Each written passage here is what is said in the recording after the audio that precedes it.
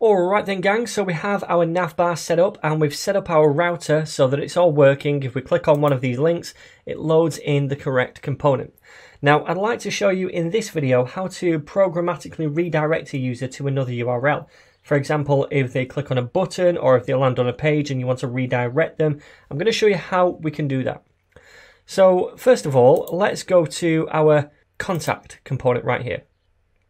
So at the minute, it's just a simple div with an h4 and a p tag. Now, I want to show you something which is pretty cool. If we take in the props right here, we have automatically added to the props router information. And that's because this is one of the components that the router loads up.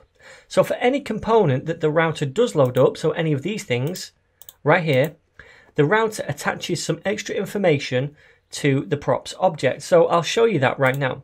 So if we log this props object to the console, and we can do that because remember this is just a JavaScript function right here, then we're going to see that extra information about the router on the props object. So console.log and then props. Okay, so save that and let's view this in a browser and check out the console over here. So if we go to the contact page now where we did that console log, we see right here we have this object. Now these are the props and we see we have this extra information already added to the props. We've not added these. The router's done that automatically. So we have the history right here, and we have all of these different methods and properties. We have the location, so it says right here, the current path name, it says we're on the contact page, which is where we are. Uh, and we have this one right here, which is going to be used for route parameters later on, and I'll show you those in a later video. For now, we want to redirect a user to a different page, for example, if they land on this one after two seconds. So they land here, they wait two seconds, then we're redirected somewhere, maybe to the about page or something. So to do that, what we need to do is use this history object on the props object. So if you look down here, we have this push thing right here. So the history in itself keeps track of our history. And if we push a route to that history, then it's going to add another location to the history and essentially push us to that location. So I'm going to show you how we can do this. Down here, instead of logging this to the console, I'm going to set a timeout. So set timeout, and this is going to wait for about two seconds.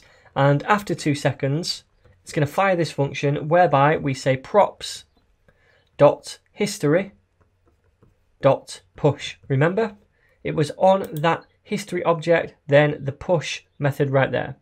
So right here, it says we can take an argument, which is the path. So the path is going to be forward slash about.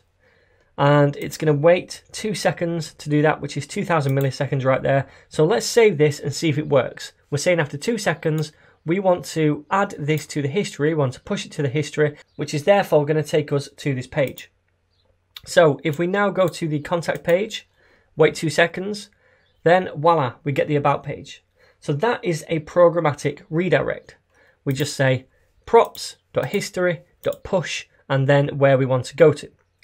All right, now let's comment this out because I want to try this in a different component. I want to try it right here in the navbar. Let's see if it works here. So I'll say set timeout again, and it's going to do exactly the same thing function inside, which is going to say props.history.push, and we're going to push it to the about page. So it doesn't matter what page we land on this time. It could be the home page, it could be the contact page, because the navbar is present in every single one of them. So on every single one of them, it should, after two seconds, redirect to the about page. And we need to take in the props here. So let's save that and see if it works.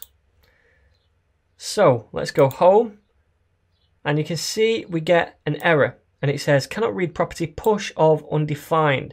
So apparently props.history is undefined. Now why is that?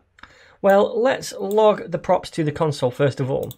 Say console.log and then the props. Save that and view this in a browser and the props is an empty object. Why is that?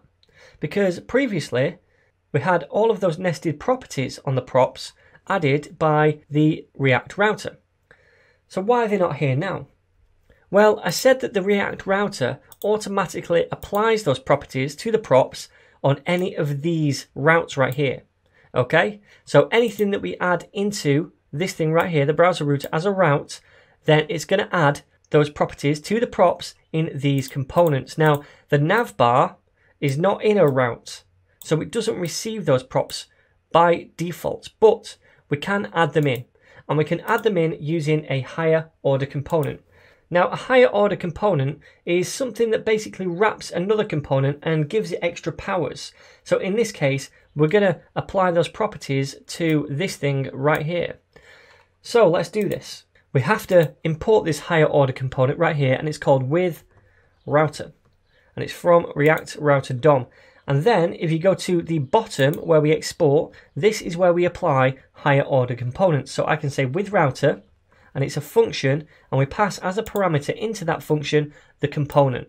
So it's wrapping the component, this function, this higher order component, it's applying these properties to the props to do with the router, then it's returning the component, that supercharged component right there. Okay, so that's all it's doing, it's supercharging a component.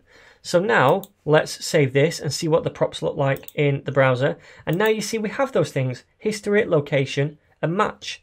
So this thing right here, this higher order component has supercharged this component, navbar, and applied those properties to the props. All right, so now if we get rid of this and instead use this, then it should work. Save it, refresh, and it redirects to the about page after two seconds. Awesome.